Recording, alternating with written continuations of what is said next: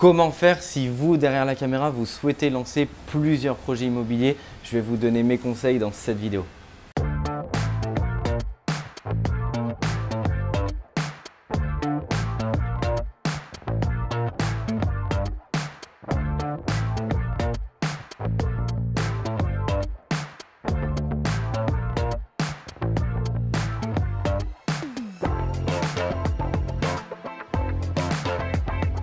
Bonjour à tous, je m'appelle Mickaël Zonta, je dirige la société investissementlocatif.com. Si vous tombez sur cette vidéo, je vous invite à vous abonner à la chaîne pour voir l'intégralité des vidéos et pour vous aussi vous développer votre empire immobilier en toute sécurité en profitant de l'intégralité de mes conseils.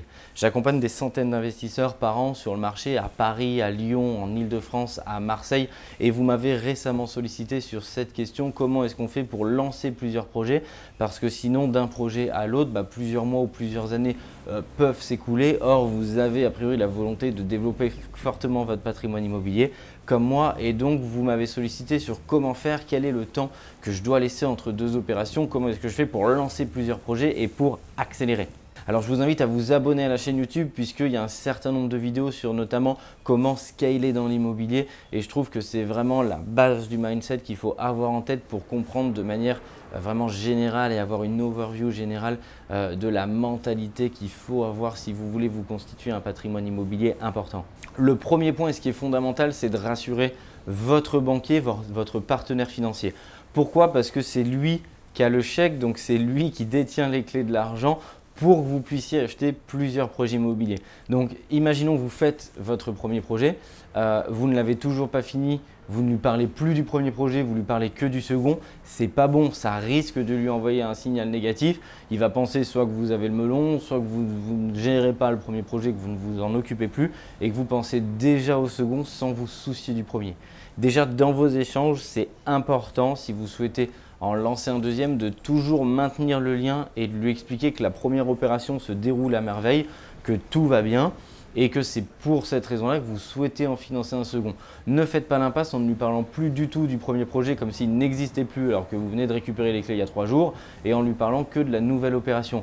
Il va penser que vous n'êtes pas forcément sérieux, que vous mettez la charrue avant les bœufs. C'est pas bon, ça va envoyer un signal négatif. Parlez-lui toujours du premier projet, tant qu'il n'est pas fini afin de le rassurer et d'amener petit à petit le second projet afin de vous crédibiliser au contraire et de montrer que vous avez la tête sur les épaules, les épaules solides et que vous terminez ce que vous commencez mais que vous pensez bien entendu à la suite. N'hésitez pas à directement commencer à rechercher une seconde affaire. Pourquoi? Parce que a priori, il y a peu de chances que euh, vous signez un compromis, vous trouvez tout de suite une affaire ou tout de suite une troisième ou tout de suite une quatrième. On sait très bien que trouver une affaire, euh, bah, ça peut mettre quand même quelques jours, quelques semaines, quelques mois. Donc il faut toujours être en alerte de façon à ce que quand il y a une opportunité que vous souhaitez saisir, que vous êtes en mesure de saisir, et eh ben vous restez alerte sur le marché. On sait aussi qu'il peut y avoir jours ou plusieurs semaines entre le fait de trouver le bien que votre offre soit acceptée et la signature d'un compromis. Donc ça, ça permet déjà tout ce temps qui n'est pas un temps contractuel, qui est le temps de la recherche et le temps de se diriger vers une signature de compromis, bah déjà de la raccourcir, puisque ça, vous pouvez le superposer sans l'accord de votre banquier. Vous pouvez rester en alerte sur le marché et mobiliser pour aller chercher d'autres opportunités avant même de commencer à vouloir faire financer une opportunité, puisqu'il faut déjà trouver la seconde avant de la financer. Et enfin, le dernier point, c'est que plus vous allez avoir fait d'opérations, plus vous allez montrer à la banque que ça fonctionne, que le cash flow est bon, que vous remboursez vos emprunts, que vos locataires payent, que les appartements sont beaux, que vous créez beaucoup de valeur, euh, que l'opération elle est saine et sécure puisque la banque euh, va prendre une sécurité si elle a hypothéqué le bien. Donc en plus, elle va voir que l'hypothèque qu'elle a sur le bien et sur l'actif est solide parce que vous avez parfaitement mené l'opération.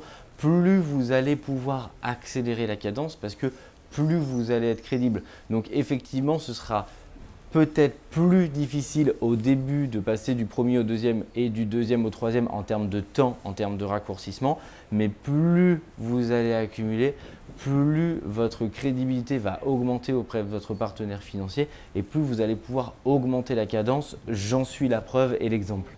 Je vous invite à mettre en commentaire, vous aussi derrière la caméra, quel est le temps que vous laissez entre deux projets et si vous avez la confiance de votre banque pour faire financer plusieurs projets et avoir toujours un projet en cours. Je vous invite à le mettre en commentaire pour que ça serve à la communauté parce que je vous en remercie, vous êtes de plus en plus nombreux et c'est grâce à vous et grâce au collectif qu'on arrive à partager les bonnes pratiques et à faire de vos projets un succès et une opération toujours plus rentable. Je vous dis à très bientôt, ciao